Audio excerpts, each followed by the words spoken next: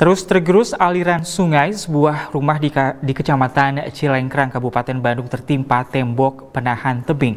Akibatnya dua rumah mengalami kerusakan cukup parah dan jika hujan terus mengguyur kawasan tersebut, 20 rumah lain yang ada di bagian hilir terancam uh, tergerus. Sebuah rumah di Kampung Cikoang, Kecamatan Cilengkrang, Kabupaten Bandung, tertimpa tebing penahan tanah. Hancurnya tebing penahan tanah di kawasan tersebut terjadi usai hujan lebat mengguyur kawasan Cilengkrang. Rumah milik Pak Iim mengalami kerusakan di bagian samping karena tertimpa tembok penahan tanah. Sementara itu, rumah milik Agus Suherlan mengalami kerusakan dinding retak serta terancam akan roboh karena tanah tebing tempat pijakan rumah longsor.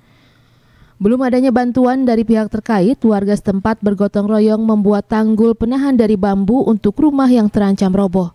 Pemilik rumah berharap secepatnya pihak terkait dapat membantu membuat tembok penahan tanah agar tidak mengancam rumah lainnya. Uh, awal mula kejadian longsor atau bergerusan tanah dari TPT drainase.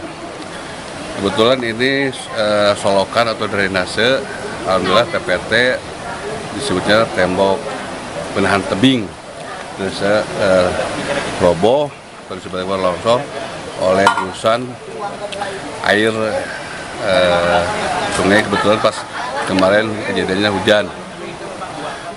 Hingga kini proses perbaikan tebing di Sungai Cikoang masih terus dilakukan warga dengan peralatan seadanya.